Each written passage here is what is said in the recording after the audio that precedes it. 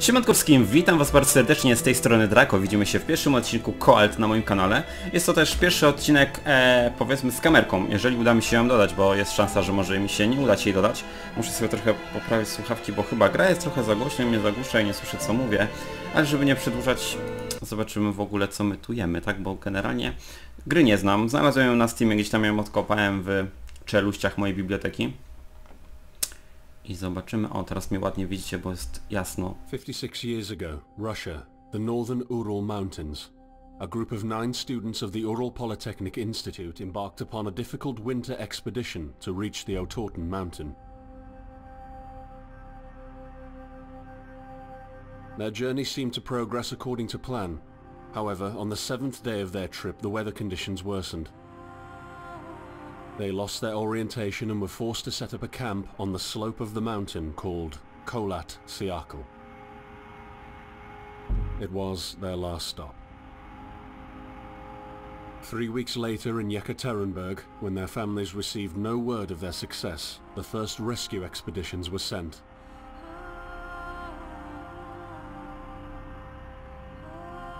On February 25th, 1959, an abandoned encampment was found.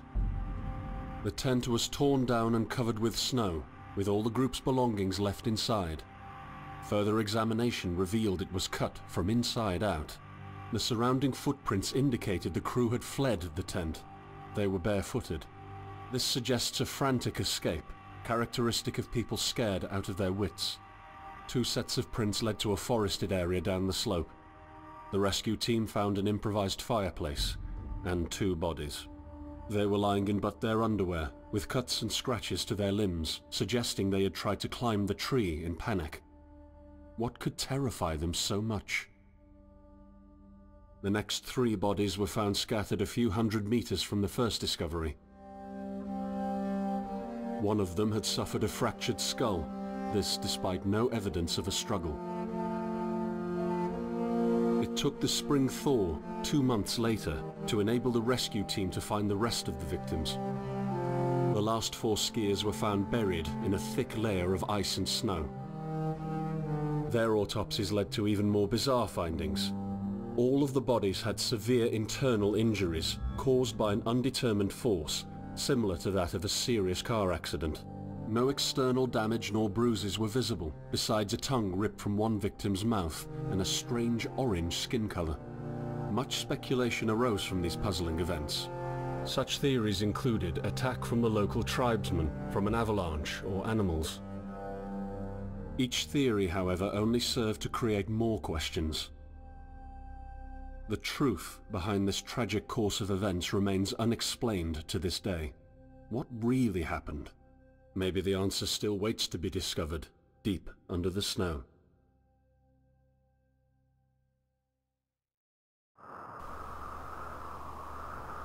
Akt pierwszy. Okej, gdzie my jesteśmy? O, wow, jesteśmy gdzieś na stacji kolejowej. Ale słuchajcie, jest mały problem, bo... Bo... Ja sobie wymyśliłem, nie, sorry, nie dźwięk. A, obraz... Zaawansowana. E, prawdopodobnie nie. Gra. No hello. Język tekstu polski, język głosu polski. Why mi to się nie zmieniło? Nie wiecie wy co? Tak mnie oszukali. Dobra, ale jesteśmy gdzieś e, w rosyjskim miasteczku na stacji kolejowej. Można wejść tutaj, co jest? Ja nie umieć rosjańskiego. O, ale mogę też robić zooma tak. Wow, ale tak fajnie się robi. Jak za mną widzicie, bo mam taki sprytny telefon, który rozmazuje tło za mną i to jest fajne. Nie wiem w sumie, czy tą kamerkę uda mi się dodać, bo generalnie nigdy nie nagrywałem z kamerką. Zobaczymy. E, nie wiem, gdzie mam iść. W ogóle, tak jak sobie czytałem jakieś tam osiągnięcia, wiecie co do zdobycia, to trochę tych znajdziek generalnie jest. Ta gra ogólnie nie jest jakaś za długa. Taka muzyczka jest ładna w ogóle. E, a coś mi się tu roz... A tu nie możemy iść, rozumiem. E, a, bo on się zmęczył. Nie można biegać. Także trochę tych znajdziek jest, więc i gra, że nie jest długa, to w każdym razie może uda mi się jeszcze raz przejść samemu sobie. Taka klimatyczna muzyczka. Nawet mi się podoba. Dobra. Trochę jeszcze go styramy. Jezu, biegać tak w zimę. jest masakra. A i nie przejmujcie się tym, że u mnie za oknem jest widno, bo tak sobie wymyśliłem, że w sumie może ten horror wcale nie będzie taki straszny e, i mogę sobie go nagrać e, w dzień. Nie wiem, czy chciałem iść do lasu, czy chciałem iść w ogóle, halo. Przed siebie, nie? Nie wiem, w lasu na ten pociąg, o nie mogę skakać. Nie mogę skakać. Przykrości najgorsza. Ale dobra, pobiegniemy sobie gdzieś wzdłuż torów. No mówię, jakoś tak nie mam pojęcia co mam tutaj robić. Tak też u nikogo tej serii nie oglądałem. O, tu jest ścieżka do lasu. Eee, ale pójdziemy jeszcze prosto. Bo może będą jakieś znajdźki gdzieś tutaj na końcu torów, nie? W sumie to też jest jakieś wejście w sumie. Tak, postać nam się znowu zmęczyła, ale my... Co, wejdziemy chyba tędy? Bo nie wiem, czy tu mogę sobie... O, zwiedzać mapę jak chcę, gdzie chcę chodzić, czy... Czy ona ma na mnie jakiś tutaj... Większy plan. Jak to było na przykład, wiecie, nie wiem, w Outlaście czy w Blair Witchu, że generalnie raczej musieliśmy się trzymać sztywno krawędzi mapy i chyba tutaj jest tak samo po prostu. No dobra, jesteśmy w lesie. Dobrze, że jest widno, słuchajcie, to jest pierwszy horror, w którym jest widno. Więc może nie będzie jako tako źle. Nienawidzę zimy. Nienawidzę zimy, w sensie e, w grach to jeszcze jakoś to przejdzie, ale w życiu realnym nienawidzę marznąć. Gdybym miał do wyboru, nie wiem, mieszkać w jakimś ciepłym kraju, to w ogóle bym się nie zastanawiał. Tylko właśnie bym sobie od razu gdzieś tam się przeprowadził. No tak to niestety, mamy za oknem jesień. Zimną, deszczową, mokrą jesień. Idę sobie przed siebie w grze. Gadam do was głupoty. Mogę tak sobie tu przymknąć? Nie mogę. Za bardzo moja postać nie chce biegać. Się męczy strasznie szybko. Kto to wymyślił, słuchajcie? Kto to... A mogę tędy? On się nawet skradać nie potrafi. Bambus jeden mały. No dobra. Powiedzmy, że... Aha. Biegać nie biegamy, bo się ekran rozmazuje i wtedy widzę kupę. Czyli nic. Słuchawki mi wypadają, no nie wiem. Muszę zainwestować w jakieś lepsze. Ojoj, tu w ogóle jakaś... Coś wybuchło chyba, bo tu igiełki choineczki straciły. Okej, a co to jest łoś? Nie, to nie jest łoś, to jest czarne coś na skałę, skalę. Czy nie łoś? Hm. O, po polsku. nie idę do ciebie. Czyli mam iść tam? Ojej, zobaczcie, ślady się czerwone. Wiem, że trzeba iść tam, ale ja tam nie pójdę, bo jak pójdę tutaj, to znajdę znajdźkę pewnie. Bo są notatki, jakieś coś tam w ogóle do znajdywania rzeczy. Tylko nie wiem też jak to, czy to będzie tak, wiecie, krzyczało, wołało, dostałem wiadomość e, na tym, na Messengerze. Tak, tak, nagrywam telefonem, przed kamerą. Oj. Tutaj już te słońce jest takie rozmazane, słuchajcie, też ledwo widać, mimo że nie biegamy. Jak coś to się wrócę tam dokąd miałem iść. Tylko chciałem zobaczyć, słuchajcie. Eee... Czy to właśnie nie będzie jakichś znajdziek, tak... A może? Bo generalnie, no skoro mamy iść tam, a jest jeszcze droga tu, to ona jest nie bez przyczyny. Chyba, że to będzie taki po prostu zamknięty ten. Śnieżyca najgorsza. O, patrzcie, tu jest domek. Mogę tu? Nie mogę, jest zamknięte. Mam nadzieję, że tu masz kurtkę, nie widzę stóp. Jakąś zimową kurtałkę, żebyś tu nie zmarł z czasem, ziomuś.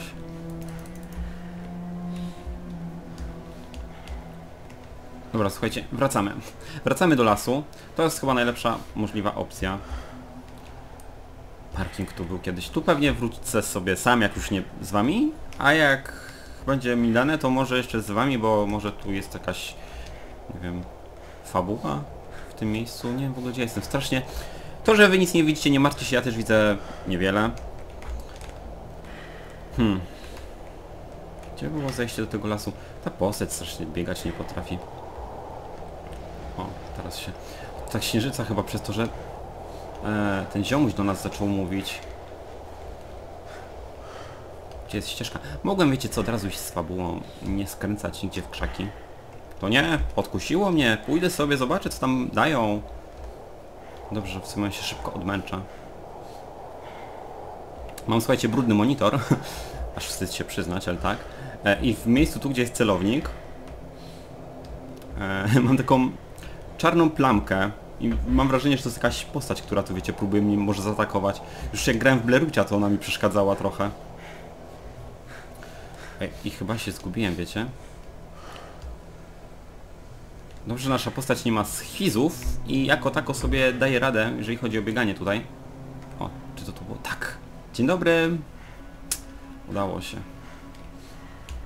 Tak, idę do ciebie. Powiedz to jeszcze raz. Masz fajny polski głosik. Nie wiem w sumie, czy to nas coś będzie straszyło, czy to bardziej tak melodyjnie... Coś tam, coś tam. Mówię, gry nie znam, a po prostu pojawiła mi się w bibliotece i tak stwierdziłem, a, że nagrywam horrory, że w sumie lubię horrory i że wcale na nich nie krzyczę, to mogę przecież sobie, sorry, e, nagrać serię z Koalta. Się zrobiło teraz mrocznie. Albo i nie. Ojoj! Oj, teraz będziecie widzieć moje głupie miny, jak będę krzyczał. Będę się bał.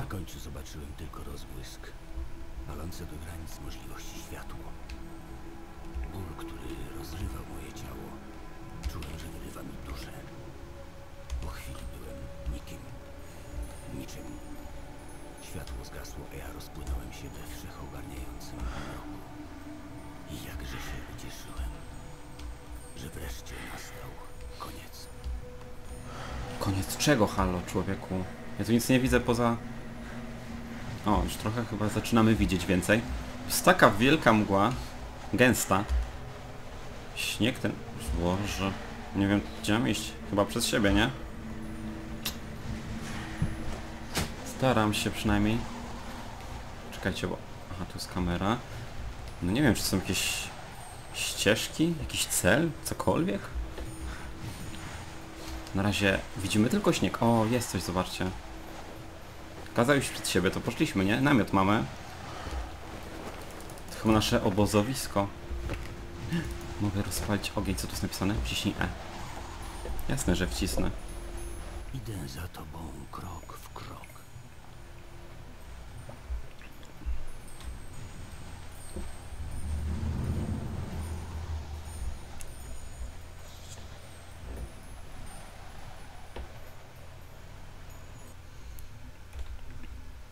O.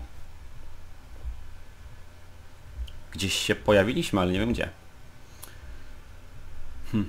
Korzystanie z szybkiej podróży w obozowiskach zapisuje stan rozgrywki, dobrze pamiętać. Ten kabelek tak mi trochę tu... A drugi już szybko idzie ta gra. Kiedyś zachować w sobie człowieczeństwo.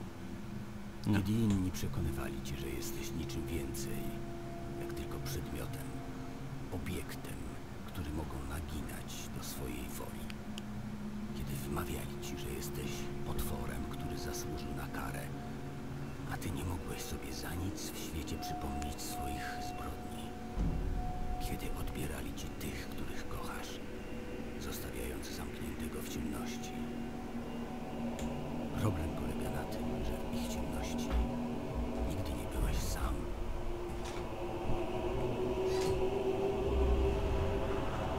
No Okej. Możemy iść chyba dalej, nie?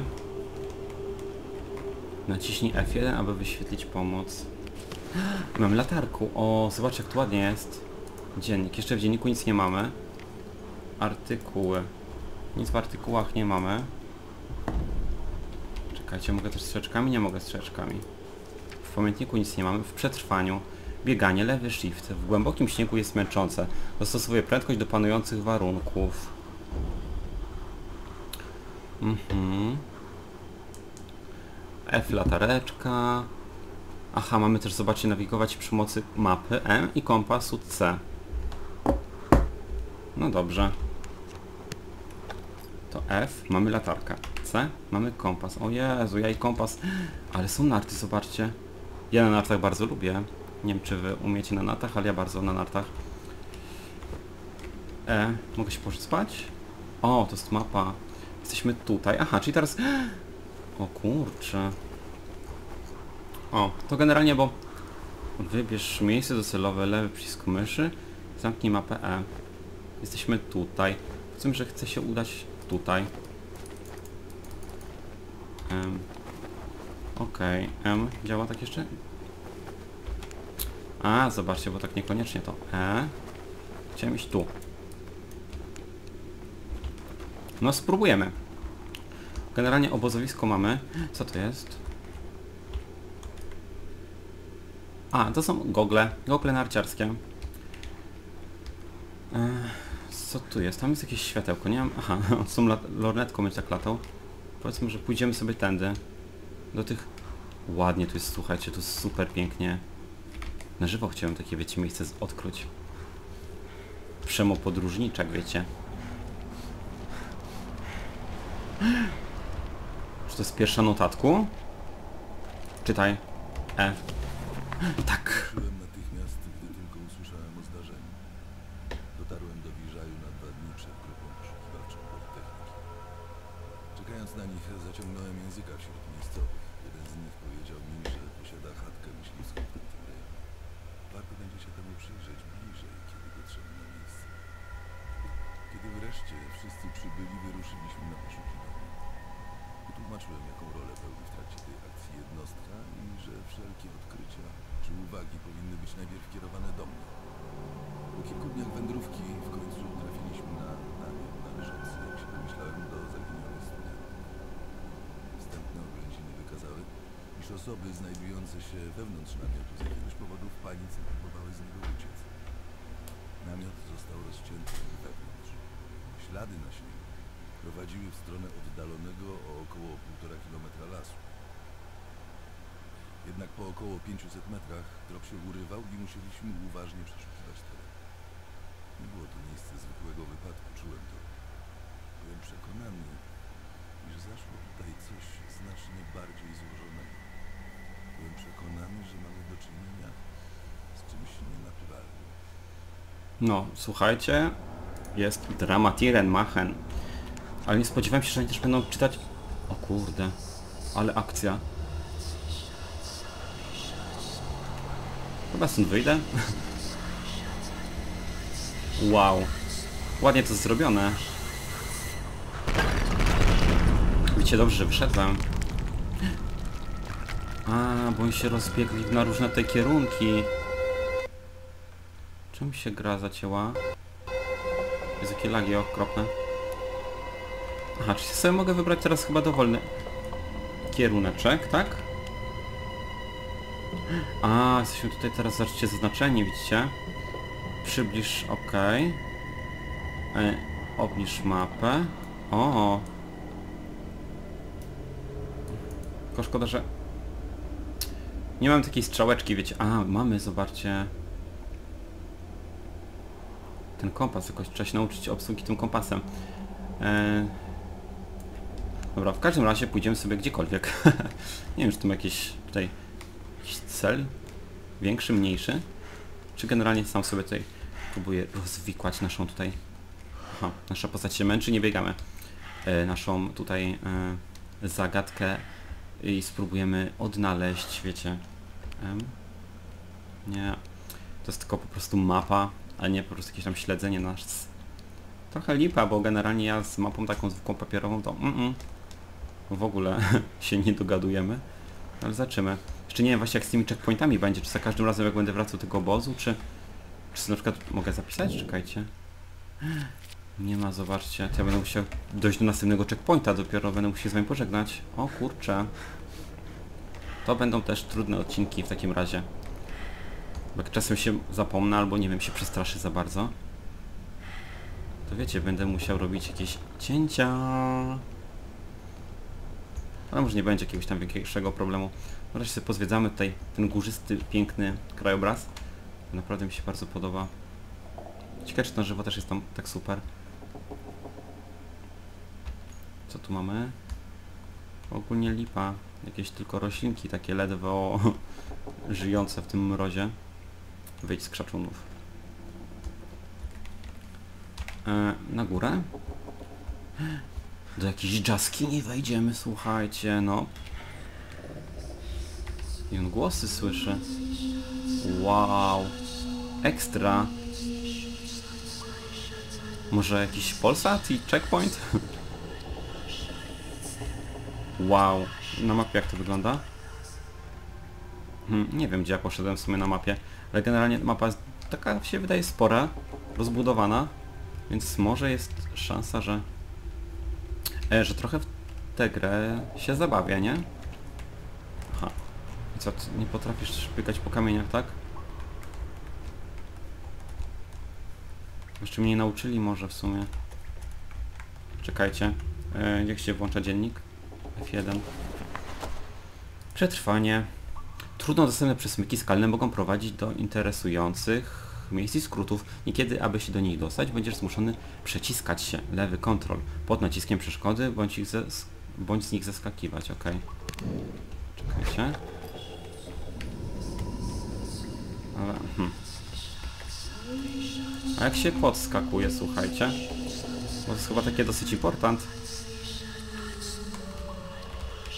Jeszcze raz F1. E, bieganie umiemy. Przed dłuższą podróż odpocznij w obozie i wyznacz cel bezpiecznej trasy przymaszu. Mhm. No nie uczą nas tutaj, słuchajcie, biegać. Ja bym tam chciał wejść. E, skakać, przepraszam. No dobra, to chyba jeszcze po prostu nie była bezpieczna droga. Wracamy. Szukamy innej trasy. W ogóle czy ja odpocząłem w obozie? Nie przypominam sobie, że drzemał na przykład. Ale z drugiej strony taka wędrówka w górę. Nie przecież tu noc będzie się robiła. To taka dosyć trudna jest, nie? Trzeba się przygotować, spać w namiocie, jakieś żarło przygotować, wodę, stawić trzeba na herbę jakąś, cokolwiek. Na przykład mogę się tu zabić? No nie bardzo, ale to chyba dobrze. Dobra, e, tutaj jest zamknięty teren. Tu też mogę wejść. Też tak niekoniecznie. Dziwne, słuchajcie, to jak moja postać się męczy e, i w momencie, kiedy się męczy, to ten ekran się rozmazuje. To jest naprawdę takie schizowe. Dobra, szukamy bezpieczniejszej drogi, słuchajcie, bo dopóki się nie nauczę skakać, albo nie przeczytam jak się umie skakać, to nie wejdziemy do pięknej jaskini. Ja chciałem ci do jaskini. W ogóle lipa. O, słuchajcie, czaszka wygląda. Ta skała, nie? Oczy, nosek, buźka. Ładne. O kurde. No, jumpuj. Tu chyba nie da się zabić naszej postaci, tak myślę. Dobra, trochę przebiegniemy się w dół. I zobaczymy, gdzie to nas doprowadzi. Z górki to kurczę, ma nawet siłę biegać, słuchajcie. Ale, o, kolejna jaskinia? A nie, to tak... Skała tak spadła fajnie. No zobaczymy. Generalnie... O, a czekajcie, jakbym co nacisnął M. Co z tego, jak ja nie wiem gdzie jestem? A mam jakiś e, bambusik. Słuchajcie, to będzie dziwna seria, tak mi się wydaje, bo... Jestem naprawdę strasznym nieogarem w gry, zresztą to wiecie. A jeszcze takie, gdzie nie ma, nie wiem, zaznaczonego na mapie, gdzie my jesteśmy. To już w ogóle, słuchajcie, masakra. Ja będę mógł tu latać, zwiedzać, a i tak nigdzie nie trafię. Chyba, że to było, wiecie, na przykład jakaś kolejność, gdzie powinienem iść od razu, a nie ja sobie, wiecie, wyplułem w górę. No, masakra jakaś. Ale pójdziemy jeszcze w górę i najwyżej się pożegnamy. Ja sobie poczytam, co powinienem zrobić, a co źle zrobiłem. I najwyżej w przyszłym odcinku, jakoś tam od tego miejsca, gdzie skończymy, e, będziemy starać się przejść tę grę poprawnie. Chyba, że na przykład tu, gdzie idę, to może być na ten moment poprawnie bardzo. W co wątpię w sumie. Muzyczka się nie zmienia i nic się tu nie dzieje, ale generalnie widoki nam wszystko rekompensują. O, czekajcie, tutaj chyba, czy... A w górę pójdę? Mogę w górę? Mogę. Ojej. W sumie no, za tymi patyczkami idę. Nic się nie dzieje na szczęście. Ciekawe, czy nas doprowadzi, że ja wiecie, potem musiał wracać 5 godzin. O, albo na przykład jakiegoś jelonka by nam tu dali, albo jakiegoś innego e, niedźwiedzia, grizzly, o, żeby nas gonił. Tylko w Rosji to chyba nie ma tych niedźwiedziów. O, coś tu znalazłem. I postać nam się troszkę zmęczyła. Co to jest? Mamy aktualizację na mapie może? No nie bardzo. Polas gdzieś, słuchajcie, i nie wie gdzie. Ale dobra. O, jaskinia. I mamy notatku. I mamy checkpoint. Tajemnicze światła nad komandorem kosmodromem swobodny. W z 4 na 5 lipca zanotowano serię tajemniczych zdarzeń na niebie w okolicy kosmodromu Swobodny. Świadkowie relacjonują, iż widzieli jasną pomarańczową kulę, która kilkukrotnie przesunęła niebo nad miastem, przecięła niebo nad miastem, poruszając się bardzo chaotycznie i natychmiastowo zmieniając kierunek lotu. W końcu zatrzymała się nad kosmodromem, po czym zniknęła. I tak dalej, i tak dalej. Słuchajcie, mamy checkpoint, więc kończę w tym miejscu. W tym pięknym wodospadzie z widokiem na las. Mało widać, ale generalnie kończymy. Mam nadzieję, że odcinek i nowa seria Wam się podobała. Mam nadzieję, że będzie mi się w Koalta grało super. Także trzymajcie się, do zobaczenia w przyszłym odcinku i pa pa!